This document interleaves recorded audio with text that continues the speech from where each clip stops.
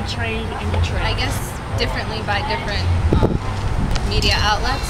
Maybe on TV, not as great as they should be. I feel like a lot of the talent here goes unrecognized with the youth and everything like that. Probably overlooked. I feel like youth are portrayed, uh, like right now they're portrayed as like, excuse the language, but it's really true. Like most people feel like they're portrayed as idiots. You know what I'm saying? Like, yeah, like they're lost, like they don't want to learn. You know what I mean? And that they're only good as being in the streets or, you know, that's it. Like there's no future or whatever. Like, you know, they just don't care except anything for partying, having fun, and vandalizing other people's property. You know what I mean? That's not true.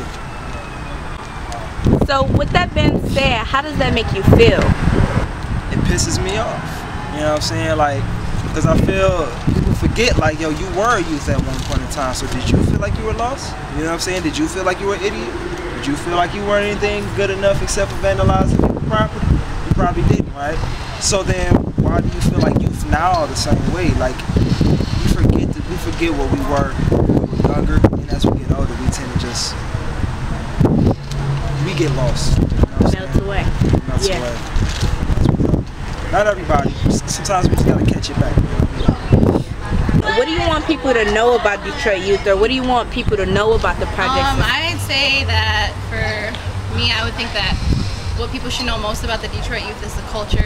And I think Detroit, we have our own culture here, and um, all of us, we share a special um, culture here in Detroit. There's a lot of things from here, and because of all of the, I mean, especially hip hop, the arts, and everything that's here, there's so many talented youth, and I think that the knowledge that the youth have here is a lot of things that youth other places don't really have or don't experience, and it's really Yo, I want I want Detroit youth to be portrayed as creative. You know what I'm saying? Like sponges. You know what I mean? Like if you give them an idea, if they have something, you give them this open opportunity. Like they'll take it and they run with it in like a creative way where you look at it, and you're like, wow, I would have never thought about it like that. what can you do to change how youth be portrayed? Um, I think the best thing to do to change that is for the youth to work together and making their voices be heard, like get involved with as many organizations as possible or just hang out more and um, get better at doing things around the community and school and um, like all that stuff with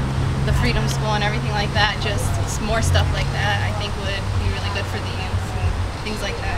I mean, like right now, like we were saying, like the way youth are portrayed is in the media. So, and then the negative is in the media. So how about we portray it positive in the media? You know what I'm saying? Like that's just where it's at right now. We're in a futuristic age where it's just like anything you're trying to show or say, it all has to be put in some type of futuristic way. So media, audio, video, whatever.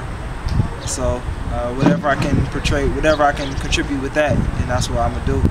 And I try to show my best the way youth are supposed to be portrayed. With uh, groups like uh, Detroit Summer and Day Project, how are y'all actually helping me by letting people know that youth are like I mean, like, invisible? like the whole Detroit Future Youth Network, Detroit Summer Day Project. You know, everybody that's in it, all the organizations, we're giving the youth that opportunity, that open door. You know what I'm saying? To go ahead and take it if they like it.